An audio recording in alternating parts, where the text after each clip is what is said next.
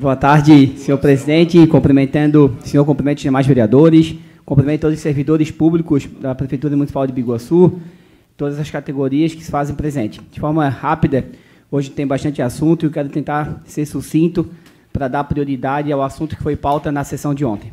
Mas primeiro quero justificar a minha ausência na sessão de ontem.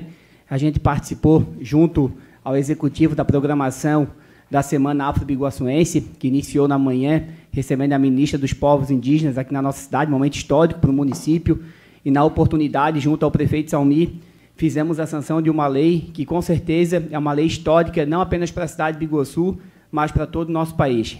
Pelo que a gente tem em registro, é a primeira lei nesse formato, criada, pelo menos no estado de Santa Catarina, sem dúvida, é a primeira, que é a lei que cria o Conselho da Igualdade Étnico-Racial e dos Povos é, indígenas e cria os respectivos cargos em comissão. Então, junto ao Conselho, o prefeito aceitou nosso, o nosso pedido, lembrando, né, como eu já disse no, na defesa do projeto, foi um projeto feito pelo meu gabinete, porém chegou até mim por moradores é, aqui da nossa cidade e fizemos aí a construção do projeto, encaminhamos ao executivo e depois voltou para casa, teve a deliberação e o aceite. E ontem a gente sancionou o projeto junto à ministra dos Povos Originários, também que se comprometeu em mandar recurso para a nossa cidade para garantir essa prestação de serviço, obviamente, para a população indígena, e fica aí o nosso compromisso também de requerer, junto ao governo federal, recurso para conseguir atender a população negra da nossa cidade. E também informar que ontem deu abertura, como eu já disse, a Semana Afro-Biguaçuense, e teve um belo evento organizado pelo Projeto Capoeira na Escola,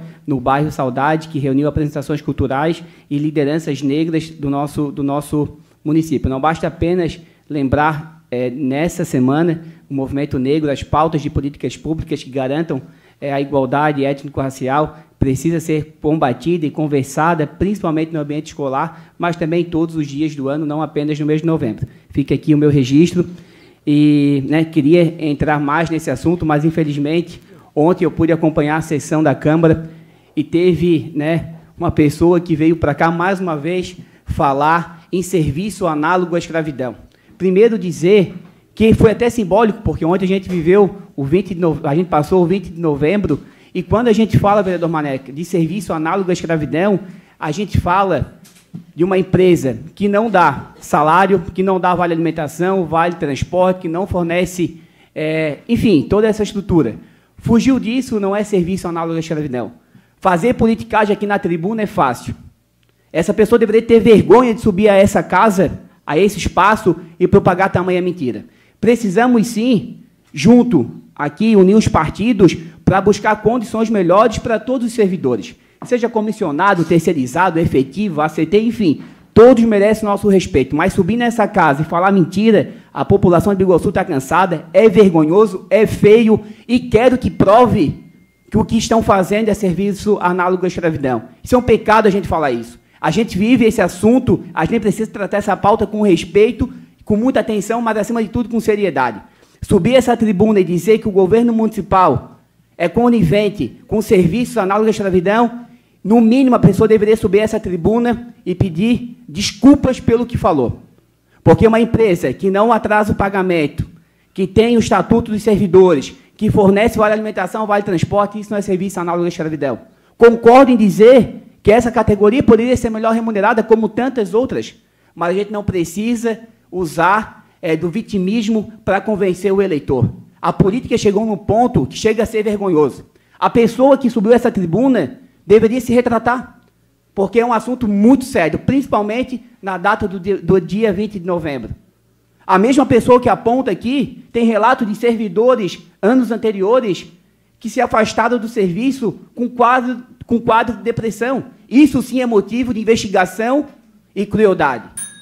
Então, mais uma vez, fica aqui o meu repúdio é, o governo municipal vem avançando, os servidores efetivos acho que compactuam, diversas foram as reformas feitas para valorizar os servidores, volto a dizer, de todas as categorias. Porque enquanto a gente alimentar o discurso do efetivo do comissionado, a gente só vai colorar uma discussão que não tem fim. Precisamos reconhecer todos enquanto pessoas que contribuem com o trabalho público do nosso município. E diga-se passagem que o serviço que vem sendo prestado por essa empresa, e eu não estou aqui fazendo discurso de defesa da empresa, não, bem pelo contrário. São 90 funcionários que têm, que trabalham, e a gente vê o resultado nas escolas, na Secretaria de Obras e também na diferente na saúde. Vereador presidente, uma parte. É, muito obrigado, vereador. É, infelizmente, foi uma fala banal e hipócrita, porque esse é o verdadeiro sentido da politicagem. Você busca algo para tentar vitimizar as pessoas, colocando-as em xeque. Isso o que é uma coisa que essas pessoas que fazem isso que aconteceu ontem aqui, elas fazem com que o movimento negro, o movimento LGBT, QIA+, e todos os outros movimentos das minorias comecem a ter rejeições. Movimento feminino, porque uma mentira da forma que foi dita na tribuna é uma extrema falta de respeito e isso começa a colocar em xeque a dignidade das outras pessoas que sofrem essas ações, sejam elas mulheres vítimas de agressões, sejam pessoas vítimas de racismo, sejam realmente as pessoas que têm trabalho análogo ao trabalho escravo. É, eu vou dizer que isso daí envergonha e envergonha muito tanto os profissionais que trabalham para essa empresa. Ontem eu recebi duas ligações dizendo assim: ó, não sou escravo, eu trabalho e tenho condições muito melhor do que nas antigas empresas. E dessa forma, eu termino a minha falação aqui e acredito que olhares de surpresa deviam de ser até fechados para não serem envergonhados. Senhor presidente, demais vereadores, mais uma vez eu reforço, precisamos sim aqui nesse parlamento municipal unir esforços para buscar melhorias. Mas fazer politicagem de um assunto sério é um tanto um pouco vergonhoso, descredibiliza essa casa que vem fazendo um ótimo trabalho há bastante tempo, uma instituição respeitada. E volto a dizer, os servidores que trabalham na empresa terceirizada, LVC, porque as pessoas gostam do nome, converse com as pessoas. Precisa ser melhorado, obviamente, como todo o setor, mas são servidores que trabalham porque precisam. Talvez pela falta de oportunidades de estudo, tem que se submeter a trabalhar no serviço braçal, mas que é um serviço tão digno, tanto como outros que a gente tem na prefeitura. São essas pessoas responsáveis por manter a limpeza e a ordem do nosso município. Então, essas pessoas nós precisamos sim buscar melhorias, mas não fazer politicagem e usar delas para fazer chantagem política na cidade de Biguaçu. Infelizmente, o tempo é curto.